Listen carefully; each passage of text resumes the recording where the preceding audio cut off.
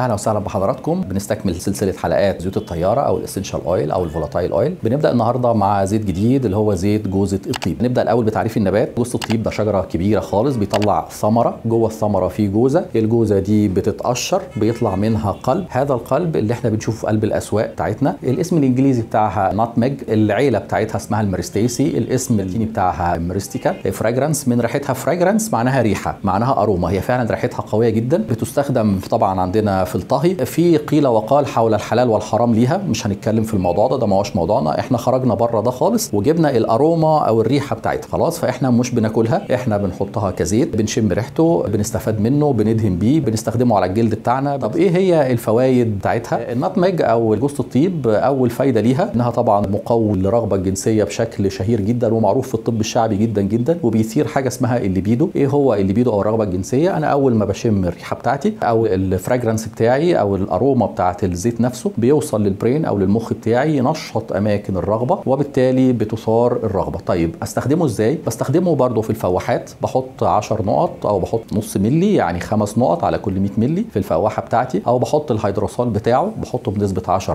وابدا اشغل الفواحه بتثير ريحه طيبه جدا طبعا شيء ظريف ان انا احط ميكس بين اكتر من زيت يعني احط مثلا مرمريه مع جوز الطيب ميه ورد مع جوز الطيب لان برده ريحه جوز الطيب فيها نوع من انواع السبايسي شويه فاللي بيحب بيحب الريحه السبايسي دي هتبقى مرغوبه إيه اللي مش مرغوب ليه ممكن يخففها بالمرمريه او بزيت الورد او بزيت نعناع او بميه الورد او ميه النعناع الحاجات دي كلها بتفيدني كويس قوي الحاجات الثانيه انها بتزود البلاد سيركيوليشن او الدوره الدمويه انا لو متعور وعندي اصابه وعاوز الجرح بتاعي يحصل له هيلينج او يحصل له سرعه شفاء فلازم الدوره الدمويه تجري هنا طب اجريها ازاي اجيب زيت التيار بتاعي من اشهرها زيت الناتمج وابدا احمله على زيت كارير اللي هو زيت سمسم او زيت زيتون وابدا اخففه بنسبه نص في المية 100 يعني خمس نقط لكل 100 مللي بعد ما عملت الميكس بتاعي اقلبهم كويس ابدا اعمل راب او ابدا اعمل دهان خفيف خالص على الجرح بتاعي مرتين في اليوم بشوف نتيجه رائعه في الهيلينج كمان بتستخدم كانتي سكارنج او بتشيل العلامات ما بعد الجروح بقدر استخدمها فيها وزي ما قلنا برضو بتقوي الذاكره كويس قوي بتزود هي كمان فيها ميزه ان هي بتزود الايماجينيشن او بتزود التخيل الحقيقه الزيت ده في الميزه دي ومنفرد عن بقيه الزيوت كلها ان انا لو عندي مثلا بروجكت معين وعاوز افكاري توسع اعمل برين ستورم او اخلي دماغي يعمل عصف ذهني كويس قوي احط زيت جوز الطيب في الفواحه بتاعتي وابدا اعمل جلسه بسيطه خالص وانا قاعد في قلب الغرفه هلاقي دماغي بدات تجيب افكار جديده اراء جديده إيه، الحقيقه دي من مميزاته ومش معروف الميكانيزم بتاعه ايه خالص يعني ولكنه في النهايه هو منتج طبيعي طبي ما فيش اي اعراض جانبيه له خالص زي ما اتفقنا مش هندخل في حته حلال وحرام احنا مش بناخده احنا يا اما بنشمه يا اما بندهنه انما مش بنشربه دي كده حلقه جوز الطيب اتمنى تبقى حلقه مفيده وان شاء الله نشوفكم في حلقات جديده ان شاء الله